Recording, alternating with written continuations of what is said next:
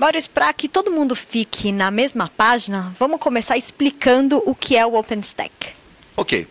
OpenStack surgiu em 2010, uma iniciativa da NASA junto com a Hackspace para fornecer uma, uma plataforma aberta, tá, baseada em open source, para endereçar necessidades computacionais, de rede e de armazenamento. Tá. Em 2012, finalmente formou-se o OpenStack Foundation, juntando hoje em dia já são 400 empresas, tá, para a gente conseguir ter padrões abertos para você implementar de novo uma, uma implementação de infraestrutura como serviço, cloud computing, para é, é baseado em open source e padrões abertos.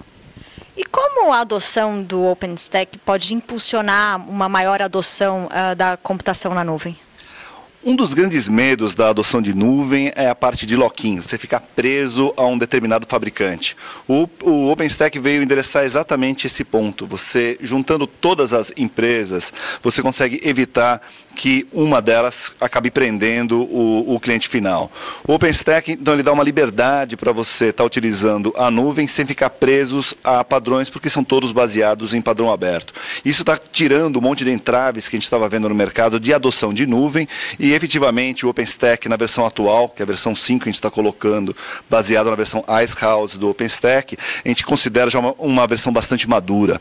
Então, dois pontos que estão sendo colocados, que é a maturidade da tecnologia tecnologia, que agora é endereçada com a versão atual, e a abertura total de padrões, é algo realmente que a gente vê impulsionar muito a parte de adoção de cloud computing. E como está isso no Brasil? As empresas usuárias já, já fizeram pedido, já estão usando, ou ainda há um longo caminho pela frente? É, o caminho não é longo, tá? É, existe grande interesse atualmente aqui no Brasil, muitas empresas estão se interessando e estudando. A adoção ainda não é grande, tá? Todo mundo numa, num, ainda no modelo de estudar qual é a melhor solução. OpenStack, sem dúvida nenhuma, é uma das que estão sendo mais estudadas, mais é, é, com intenção de ser adotadas. Então, efetivamente, a gente vê o OpenStack como um padrão, ainda mais com as últimas empresas que entraram dentro do OpenStack, tá? É, começaram com algumas dezenas de empresas empresas, como comentei já, agora a gente está com mais de 400 empresas fazendo parte. A gente não vê praticamente nenhuma empresa de TI de médio ou grande porte fora dessa iniciativa do OpenStack Foundation. Então, efetivamente, vai ser o padrão de cloud e a gente vê uma adoção realmente muito grande. O interesse é grande no Brasil.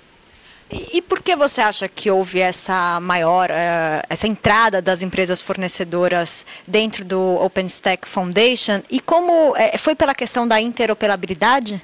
Sem dúvida nenhuma, tá? Ninguém quer ficar fora aí dessa, desse padrão de cloud que o OpenStack está se tornando, tá? Todas as empresas têm interesse ou de fazer parte do fornecimento da nuvem em si, ou no mínimo fazer parte que seus equipamentos ou softwares sejam compatíveis com essa plataforma é, de nuvem chamada OpenStack.